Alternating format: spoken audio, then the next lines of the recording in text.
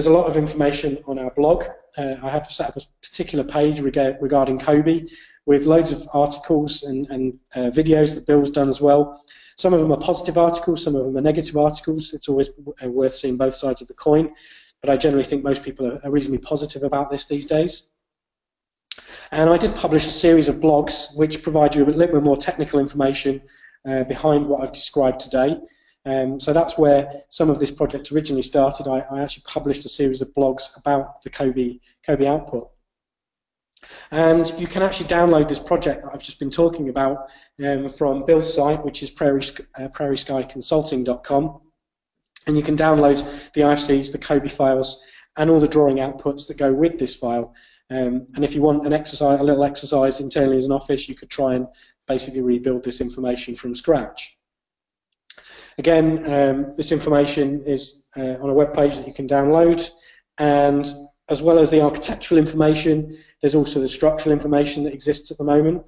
We will be adding um, the MEP stuff as well uh, to, to this uh, information. We'll also be adding uh, the Revit output and the Revit uh, process to this as well, um, which is important when you're working with other designers uh, that you can deliver consistent information together. And there is, as I said, the architectural and structural model uh, already up there.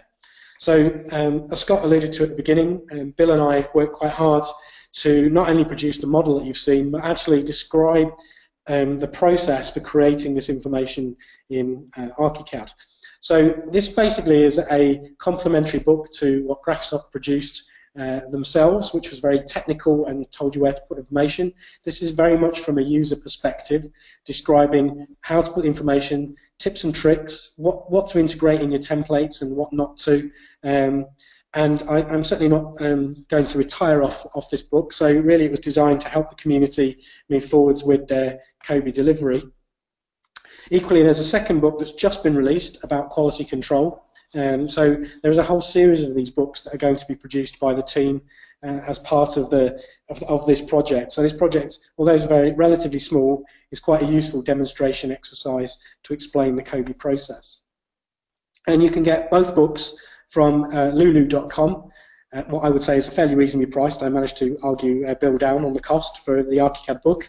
Um, for £38, you're basically getting about two or three years of my um, pain and knowledge uh, expressed in the book. Um, it does have lots of requests from Graphisoft at the back as well on how to make it better.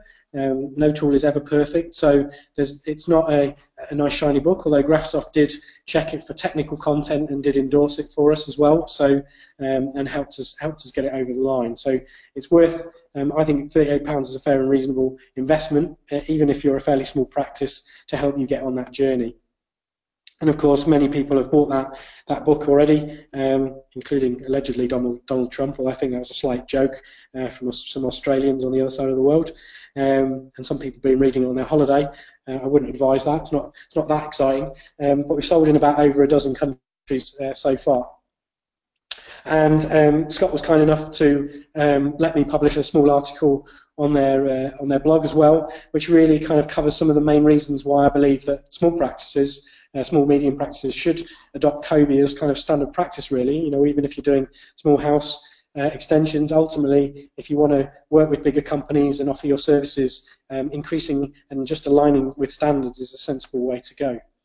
So some final thoughts. Um, we've built our whole approach around open standards um, ArchiCAD is our main authoring tool internally and IFC is a big big part of our exchange.